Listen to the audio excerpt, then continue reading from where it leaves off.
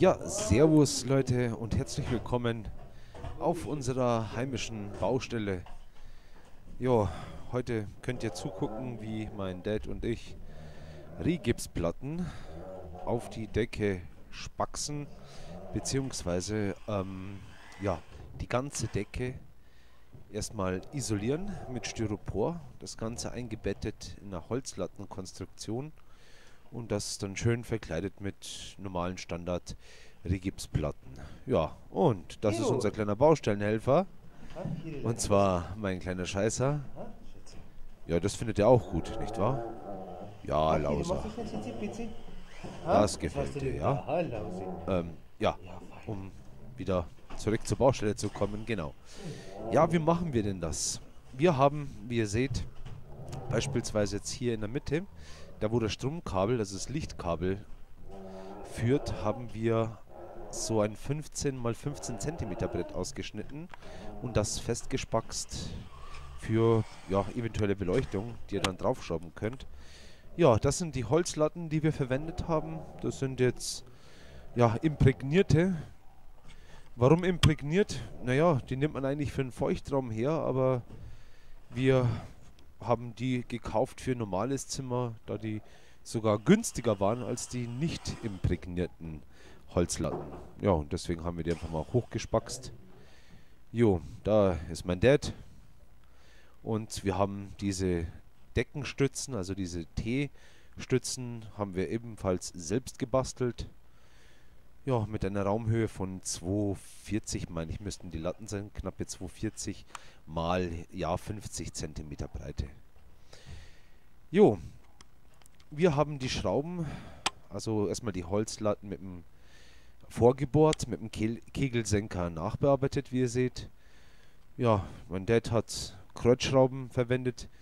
Ich hätte lieber Torx gehabt, aber naja, er wollte unbedingt seinen Altbestand an Schrauben loswerden, deswegen haben wir die Kreuzschrauben verwendet. Ja, ja genau. Und hier seht ihr, wir haben circa 3 bis 5 cm Luft gelassen am äußeren Rand und nur schmales Styropor, sprich schmale Streifen reingeheftet, da wir Platz gelassen haben für die Elektrostromkabelinstallation, die außenrum zu verlegen wäre.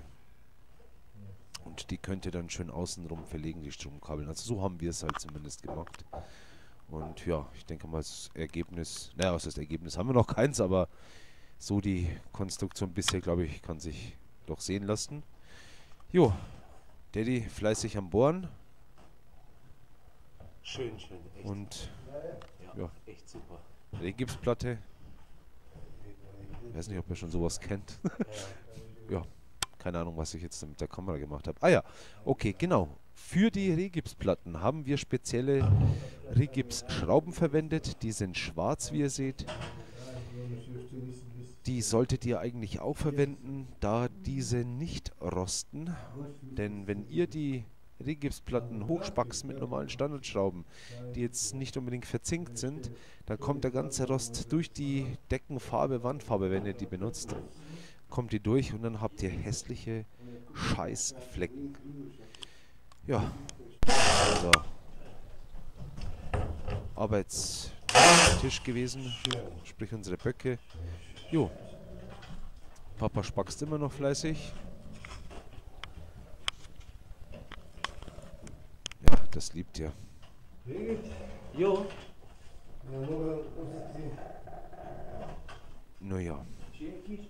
Schön reindrücken.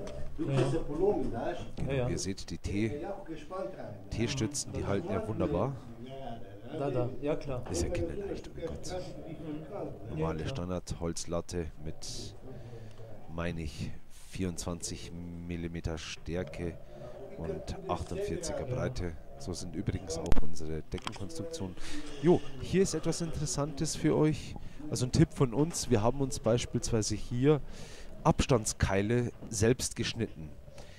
Dieser hat jetzt eine Länge von knappe 50 cm und die passt dann exakt zwischen Latte und nächste Latte. Ja, das sieht man nicht schlecht von hier, aber die passt, wie gesagt, hier rein. Das ist natürlich super. Oder spart unheimlich viel Zeit, indem er einfach nur die... Ah, hallo Baustellenhelfer, bist du wieder da? ja, der muss sich natürlich davon überzeugen, ob wir auch richtig arbeiten und schnell genug sind. Ja, und hier tut mein Vater die Rigipsplatte nachbearbeiten. Diese Schrauben ziehen nicht die Platten automatisch mit hoch. Deswegen etwas Nacharbeit ist ratsam. Vorsichtig mit so einem Holzkeil, wie mein Dad es schon gemacht hat. Einfach die Platte ein bisschen nachklopfen und dann könnt ihr die auch schön festspaxen. Jo, so im Großen und Ganzen war es eigentlich auch schon. Es ist die ganze Kunst was vielleicht noch ratsam wäre. Also wie ihr seht, wir haben die, die Rigipsplatten versetzt verlegt. Also sprich, wir haben an einer Seite angefangen und dann haben wir hier, wie ihr seht, da freigelassen und tun jetzt einfach versetzt in die Kontrarichtung weiterlegen. Das hat den Grund, dass es nicht zu eventueller Überlastung einer Latte kommt und dass dann hier eventuell sich was verzieht oder was reißt. Haben wir gesagt, gut, Kontragewicht, also eine Platte fangen wir an und gleich lassen wir sprich die eine Stelle frei und fangen versetzt einfach nur wieder rückwärts an. Also von vorwärts nach rückwärts, rückwärts, vorwärts. Ach, was rede ich da so viel? Ihr seht es ja selber. Ja. Jetzt kommen unsere T-Stützen zum Einsatz.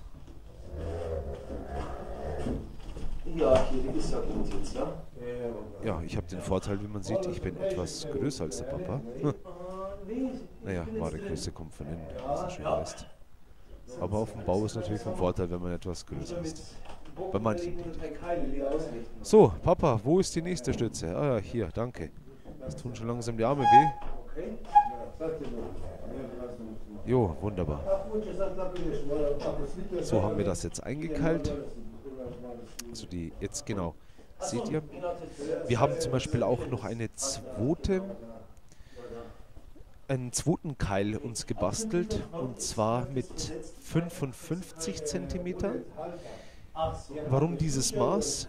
Das bestimmt äh, das jeweilige Stoßmaß von einer Regipsplatte zur nächsten, weil wir immer nur die Regipsplatten am Rande bis zur Hälfte der Holzlatte befestigen. Ist ja logisch, weil sonst würde ja eine Platte runterhängen und die andere wäre festgeschraubt. Ne? Also sprich von Holzlatte zu Latte, also Innenmaß, haben wir 50 cm und von Rigipsplatte zu Rigipsplatte benutzen wir einen ja, selbst gebastelten Keil mit ja, 55 cm. Nur so am Rand. Das ist ein kleiner Tipp. Da geht es halt eben schneller und praktischer mit der jeweiligen Montage. Ja, wir diskutieren jetzt heiß. Papa erklärt mir nochmal alles. Ja, doch, das muss ich ihm lassen. Der hat es wirklich drauf. Ja, genau. Richtig. Trockenbau, Trockenmontage betrifft. Ja. Genau. So, ich halte jetzt mit einer Holzlatte etwas dagegen. Genau. So. Papa richtet jetzt nun aus. Jetzt haben wir wieder versetzt angefangen, wie ihr seht. Also ganz, ganz hinten rechts ist er frei. Dann gleich daneben haben wir die andere Latte, äh, Latte sei schon, pardon, die andere Rigipsplatte raufgespackst und so haben wir jetzt wieder auf der anderen Seite, also Kontra, wieder angefangen mit der nächsten Platte.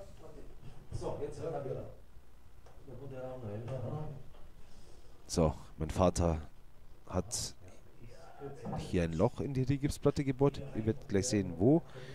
Da führt jetzt gleich das Stromkabel durch. Also er führt jetzt gerade eben ein.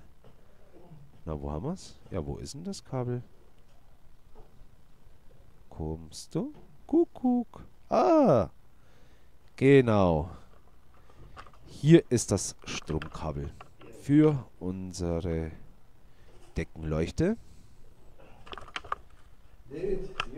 Genau, und unten, unten drunter habt ihr ja unsere ja, selbst gebastelte Spannplatte mit 15 mal 15 Zentimeter äh, ja, Länge und Breite gesehen.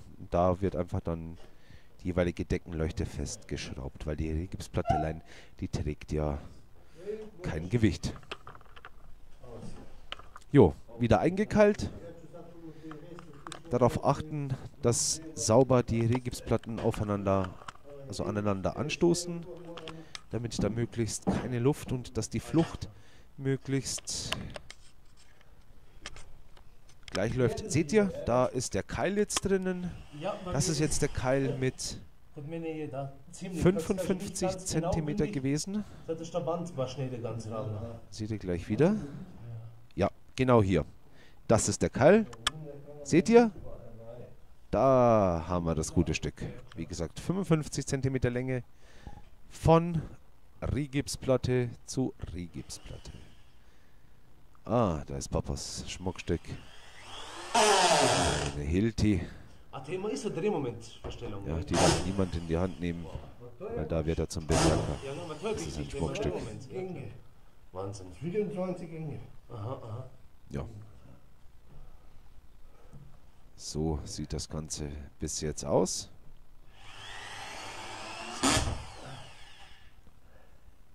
Genau. Was vielleicht noch wichtig wäre, ihr habt ja das Knarren gehört. Der Hilti, es muss jetzt nicht Hilti sein, es soll jetzt auch keine Schleichwerbung für irgendwelche Hersteller sein. Ihr könnt ja, was weiß ich, Haichi, Maichi, Bombaichi nehmen oder wie auch immer andere Hersteller heißen mögen.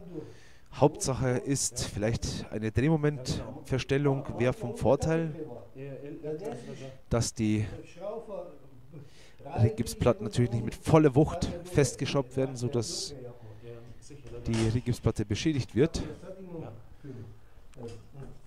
Ja, das ist dann so ein bisschen Gefühlssache. Da müsst ihr schauen, Genau. mit wie viel Newtonmeter ihr die Schrauben versenkt.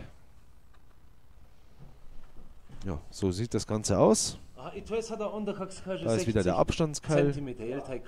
Ich zeige es hier gleich nochmal, seht ihr. 55 cm Stoßmaß. Jo Leute, das war's. 55. Ich hoffe, es hat euch etwas helfen können. Wenn ihr bessere Ideen habt oder mehr wisst, wir sind offen für. Verbesserungsvorschläge. Ansonsten wünschen wir gutes Gelingen und viel Spaß. Bye bye.